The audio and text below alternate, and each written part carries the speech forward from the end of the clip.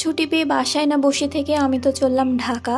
Hello guys welcome back to my channel with brand new video তো আজকে ঢাকায় যাচ্ছি, দশটা চল্লিশে দোলা পরিবহনে আমার বাস ছিল।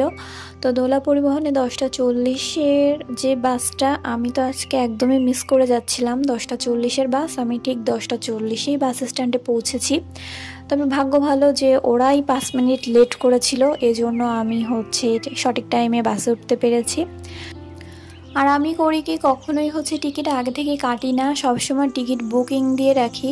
সে আমি বাগেরহাট থেকে যাই আর গুলিস্থান থেকে আসি। আমি ওদের ফোন নাম্বার রেখে দিয়েছি, সবসময় বুক করে রাখি সিটটা এরপরে জায়গায় গিয়ে তারপরেই হচ্ছে টিকিটটা কাটি। এটা আসলে আমার অলসতার জন্যই হয়ে থাকে, কিন্তু আমার মনে হয় ব্যাপারটা একদিক থেকে ভালোই যে আমি যদি কখনো মিসটেস করি অথবা কোনো ঝামেলা হলো না আর কি, যাই হোক। তো বাগেরহাট থেকে ঢাকার দূরত্ব হচ্ছে চোদ্দ কিলোমিটার। তা আমার মনে হয় যে দুশো চোদ্দ কিলোমিটারে দুশো কিলোমিটারই মনে হয় আমি রাস্তার দিকেই তাকিয়ে থাকি। আমার এত বেশি ভালো লাগে রোড ট্রিপ। তো আগে হচ্ছে একটা ব্লগে আমাকে একজন কমেন্ট করেছিলেন যে, আমি স্কুলে চারপাশে যে ভিডিও দিই, ওইখানে এত নারকেল গাছ কেন? তো আপনি হয়তো বা জেনে থাকবেন যে বাগেরহাট দক্ষিণবঙ্গের হচ্ছে একটি জেলা। তো এই দক্ষিণবঙ্গের বাগেরহাট জেলা কিন্তু বিখ্যাতই হচ্ছে নারকেল সুপারির জন্য।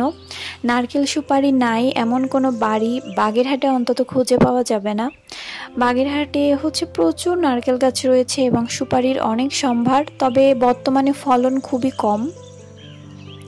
তো এই আর কি আই থিঙ্ক আপনি আপনার প্রশ্নের অ্যান্সার পেয়ে গেছেন।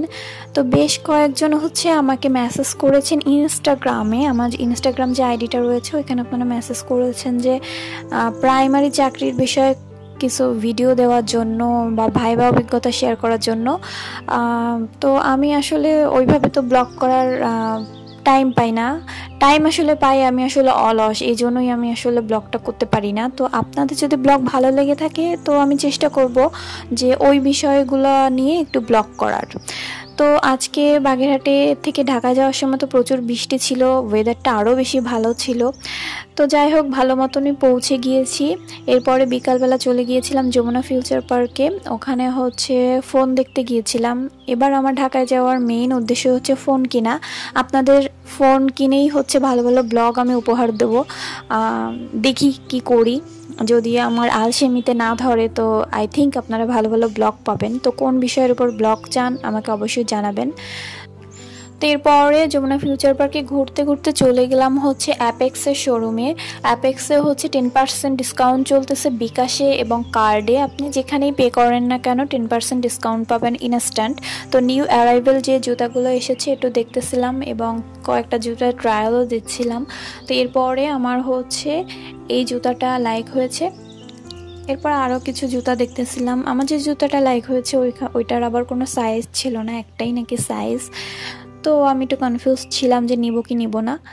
তো অন্যান্য যে জুতাগুলো আপনাদের একটু দেখাচ্ছি, যে নতুন কোন জুতাগুলো এসেছে এবং কোনগুলোর উপর ডিসকাউন্ট চলতেছে আর কোনগুলো হচ্ছে একদমই মানে লো রেঞ্জের হয়ে গেছে। ধরেন আগে একটু বেশি ছিল, এখন কিন্তু বেশ অনেকটাই ডিসকাউন্টে পাওয়া যাচ্ছে জুতাগুলা।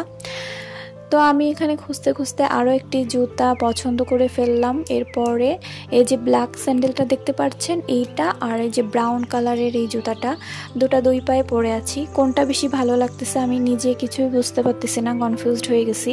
তা আপনারা একটু কমেন্ট করে জানাবেন যে কোনটা বেশি ভালো লাগতেছে। জুতা হচ্ছে কমফোর্টের জিনিস, তবে মাঝে মাঝে একটু স্টাইলের দিকেও ভাবতে হয়। তো দুটাই স্টাইলিস্ট কিন্তু আমি কনফিউজড হয়ে গেছি সো আজকাল নিচ্ছি না। তো এরপরে ছেলেদের জুতা দেখতেছি। একটু ভিডিও করলাম, কারণ আমি জানি যে আমার ব্লগে অনেক ছেলে ভিউয়ার্স আছেন, তো আপনাদের দেখে ভালো লাগবে আই থিঙ্ক কেনেন আর নাই কেনেন, দেখতে তো ভালোই লাগে, তাই না? তো এরপরে হচ্ছে আমার একটা সানগ্লাস কেনার দরকার ছিল। তো সেখানে গিয়েও আমি কনফিউজ যে কোনটা কিনবো বড় বড় ধরনের গ্লাস কিনবো নাকি ছোট গ্লাস কিনবো। তো কনফিউজডের জন্য আজকে মোটামুটি কিছুই কিনিনি। আগে হচ্ছে ফোনটা কিনবো, তারপরে যা দেখি কোনটা কি কেনা যায় সবই আপনাদের সাথে শেয়ার করব। আর এখন তো ফোন এসে যাওয়ার পরে আই থিঙ্ক আমি আপনাদের সাথে রেগুলার কিছু ভিডিও শেয়ার করতে পারব। তো প্লিজ আমাকে জানাবেন যে কোন বিষয়ে বা কোন টপিকের উপরে আপনারা ব্লগ চান। কয়েকটা টপিক আপনারা বলেছেন যে ইনস্টাগ্রামে আমি চেষ্টা করব ওই বিষয়ের উপরে ব্লগ দেওয়ার জন্য। তো অনেকটাই লেট হয়ে গেছে, যমুনা ফিউচার পার্ক অনেকটাই ফাঁকা হয়ে গেছে। তো এখন হচ্ছে বাড়ি যাওয়ার পালা। তো বাসায় গিয়ে হচ্ছে পাস্তা রান্না করলাম। আমি আর আমার বোন, আমি যেহেতু আমার বোনের বাসায় এসেছি। আমি আমার বোন পাস্তা রান্না করলাম আর বাইরে টুকিটাকি খেয়েছি, তো এটা দিয়েই আজকে ডিনার করব। তো সবাই ভালো থাকবেন বাই